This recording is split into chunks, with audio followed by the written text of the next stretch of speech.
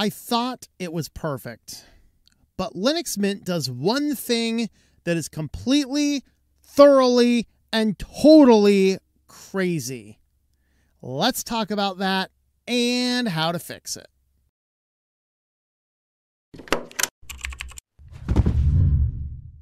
Thanks for checking out this switched to Linux video. And today we want to talk a little bit about Linux Mint.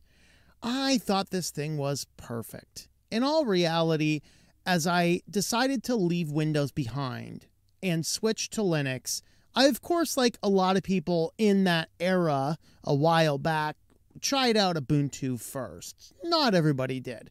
And it worked and it was functional. I thought, well, it was kind of neat, but I really didn't like the way at that time Unity worked as a desktop environment. I was new to Linux. I didn't know there were other options. I was actually trying plugins to put a panel on the bottom and try and make my workflow jive with how I ran it on Windows because I have used Windows, I have used Mac, and I just like the workflow I like. Whether or not you agree with me or not, eh, that's a different matter altogether. But that being said, Linux Mint, when I first found it, it was absolutely incredible. To me, it was easy. It was highly functional. It was familiar, low, perfect, which is why it became my default build for my streaming computer when I started running the YouTube channel itself and my work computer and most of the other computers that I have the option and I don't want to run like Arch to test out the latest software and things like that. But the reality is, Linux Mint does have one serious fundamental problem with it. And we're going to talk about that today. That is languages. Linux Mint has this little problem that should be easy to solve. You see, when you're setting it up, one of the options is to say, what language is this computer? And what it should do is it should remove all languages and locales except the one that you chose. But it doesn't. And because it doesn't, other software gets installed like LibreOffice, and then it looks at the locales you have and it decides to download help documents, language packs, spell checkers, hyphenation guides for every locale in there. Did you know that if you're running Linux Mint and you have not proactively cleaned out the languages, you are running half a gigabyte of unnecessarily language files on your system. That is how big it is. It is insane how many language files it runs. This is one fundamental problem. And what we're going to do here is I'm going to walk you through how to fix this. So I'm recording this actually on my production laptop here. Uh, this is the one that I always run the more recent, more edge versions. So this one's at 21.2 and eventually I'll put it at 21.3. So as of right now, if we go ahead and we look at our folders, our folders are pretty full. Now this does have a fairly small file system as it is. And so um, I forget how big this, I think it's a 256 gig as I think is the the total size. And there is a lot of space on here. But I've never actually cleaned out the language. Well, at least I hope I haven't because I just tested it out on two different computers today and I'm hoping that uh, this one it is not. Uh, I didn't clean them out already. So we'll see. So first we're going to go in and Linux Mint has a languages application. And this is a setting inside your settings panel that looks at the languages installed. Now, you might have actually seen a system report about languages. You can see here that our language is US English across, and then there's applied system wide is US English. Now, if you go and look at the install and remove languages, you're going to need to enter your password there. And then what you're going to see is See that it says 23 languages installed. Now, these are all variations on English, but over here in the United States, we speak United States English. I do not need Zim, uh, Zimbia, Zambia's English, Zimbabwe's English, New Zealand's English, Canadians English, A, Australians English, Uh, Antigua Barbuda English. Botswana, they speak English. Okay, well, whatever. I thought, was not the clicky language? I don't know. I don't know. So first step is we're going to go in and you literally, and there's no mat batch selection. So you have to come in and just highlight each one and remove each one of them. Fortunately, it is a pretty quick process. This is going to prevent all of these separate languages and other things from being installed. Now, is it just these? No, because LibreOffice on Linux Mint also installs other languages that are not necessarily in this list. And that's the next thing we're going to have to deal with. So first, we're just removing all of these language packs. Now, curiously, it does say, notice there that it says that some language packs are missing. And so if you actually go and click on those, it's going to try and install other languages that are not necessarily part of English. So if we go ahead and hit install language packs and let it update its cache, and then it's going to say, hey, we're going to download some software. Do you want to do this? What we're actually going to see is the down the ins the the software list it's going to give us is actually going to be um, here's GIMP help common. Okay, understand that. Hyphen phi. This is the Fin uh, the Finnish hyphenation language. This is uh, GA. Which one was GA? I forget which one GA was. I think it was the Irish, believe it or not, or something like that, or Scottish or something. And I didn't look up what the ID one is. Uh, but it's still trying to install language packs that are not specifically uh, English United States. So we don't really care about those. Now, the next thing you're going to want to do is you're going to want to boot up Synaptic Package Manager because this is really the only spot I know of to clear all of these out easily. Because what happens is LibreOffice on Linux Mint also installs a ton of extra stuff. And so what we're going to do is I want to go ahead and come in here and we're going to search for LibreOffice. So this is going to pull up every package file that is related to LibreOffice. So you see here's your fonts open symbol is installed and you see Hunspell DE at Frami. This is the German, Australian German language dictionary. Now, Hunspell is the application that you need for spell checking. But believe it or not, I do not need Austria's German spell checking. I think I said Australia. No, it's Austrian. German, I do not need Switzerland, Germany either.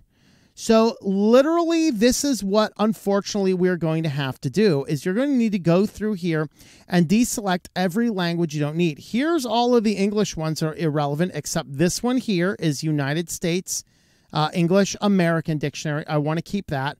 I don't need the Australian English Dictionary. I'm afraid a crocodile will get me. I don't need Canadian English. A. I don't need this English with my crumpets and tully.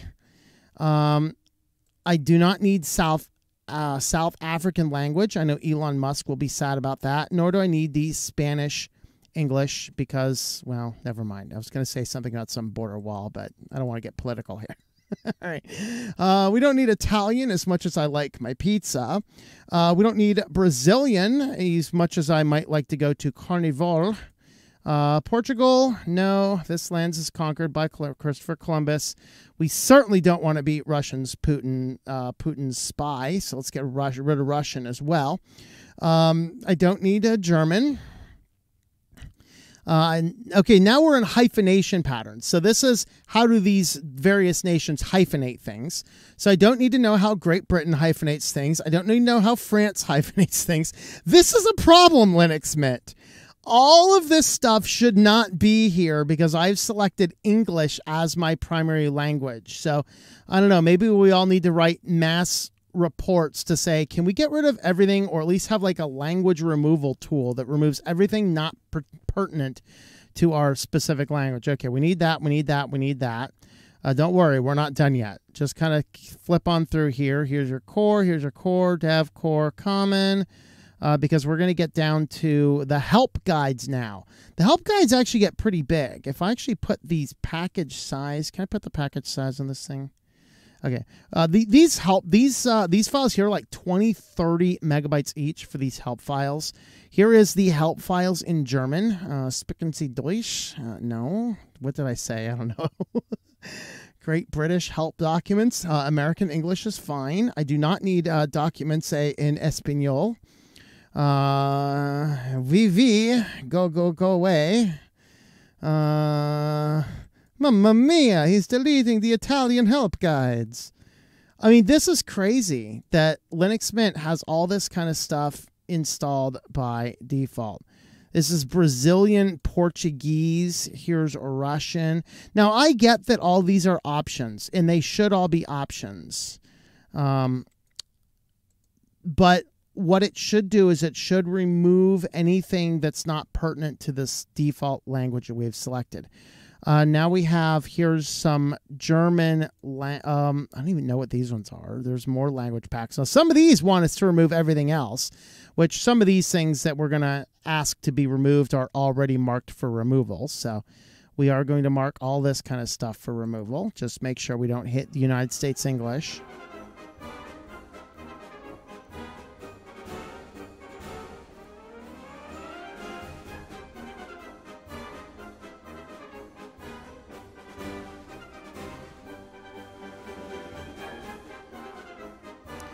And now we have the thesauruses. I don't even speak these languages. I don't know why I would possibly need a thesaurus in them.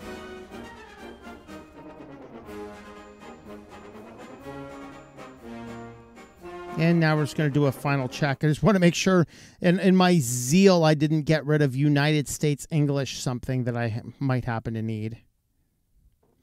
Okay, so now we're going to go ahead and hit apply.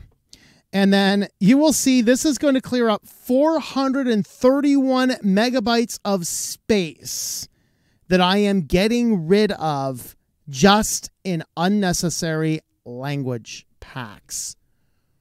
Why, Linux Mint? Why are you installing so many language packs when I selected English as my language?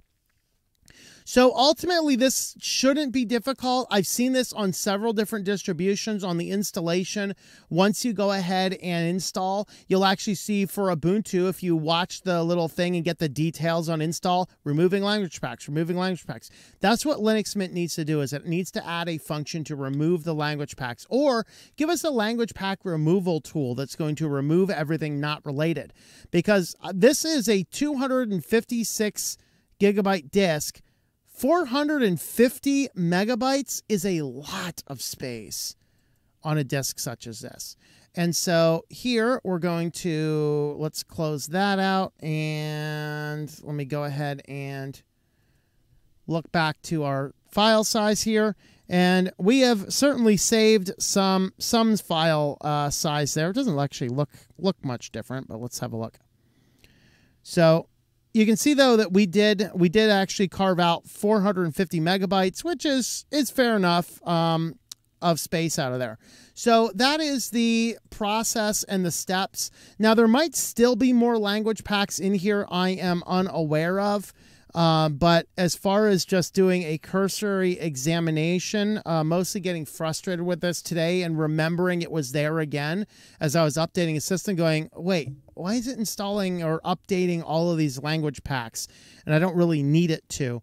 Well, the reality is, um, uh, I just wanted to make sure that uh, I cleared out everything that I saw upgrading. I think that is actually it. But hey, there's a good way to clear off a whole bunch of stuff off of your system in the event that you are um, uh, in the event that you are uh, are running low in space or just like to debloat your systems. Why Mint doesn't do that out of the box is so totally beyond me, but hopefully this gave you a tip about taking care of that. With that, thank you guys for watching and I hope that you enjoy switching to Linux. Thank you for watching this video from Switched to Linux. This channel would not be possible without the backing of the program supporters scrolling on the screen now. You can be a supporter at Patreon at patreon.com slash T-O-M-M or at thinklifemedia.com.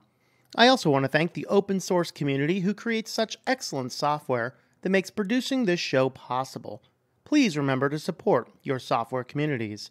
Thank you, and I hope that you enjoy switching to Linux.